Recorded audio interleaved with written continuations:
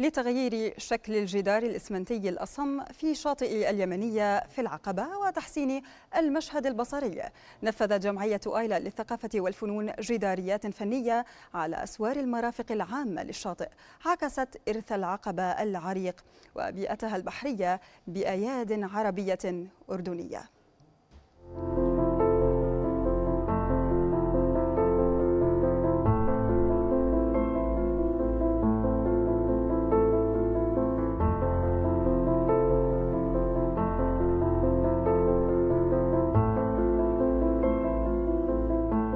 قامت جمعية أيلة الثقافة والفنون بعمل تقريبا ألف متر مربع جداريات قسمت إلى خمس جداريات طبعا. آه، كانت هي فكرة آه، آه، السلطة وبدعم كامل من السلطة من خلال نائب الرئيس. عملنا الجداريات هذه مجموعة فنانين ثلاث فنانين الفنان عماد السنوسي والفنانة رانيا البيايضة والفنان بسام المجالي. طبعا الألوان اللي استخدمت في الجدارية ألوان أكريليك وعازل اللوحات من العبث ومن الشمس عشان تاخذ مدة أطول يعني تقريبا ست سبع سنوات.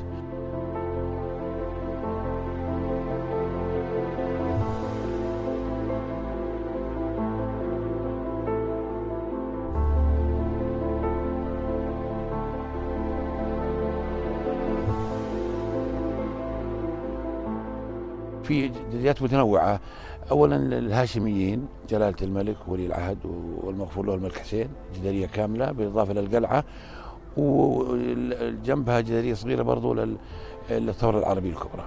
بعدين عملنا اللي هو البيئة البحرية في العقبه الأسماك والمرجان والدلافين والأشياء زي هذه عملنا جدارية كاملة برضو البحر والمنارة والمراكب يعني لوحة متكاملة. بعدين عملنا برضو لوحة آه، عالمية بأيادي أردنية اللي هي لوحة السمسمية والقارب والصيد يعني مدرسة عالمية لفانكوخ.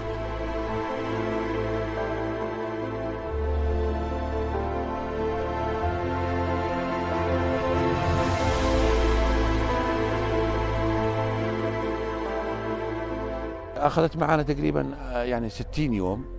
متواصل وفي إجازات طبعا جمعة وكذا. آه، طبعا العمل كان مش سهل ابدا خاصة أنه شمس العقبة يعني ودرجات الحرارة مرتفعة. لكن الحمد لله قدرنا نتغلب على الموضوع هذا وأكملنا المسيرة وعملنا الجداريات بشكل إن شاء الله جميل جدا.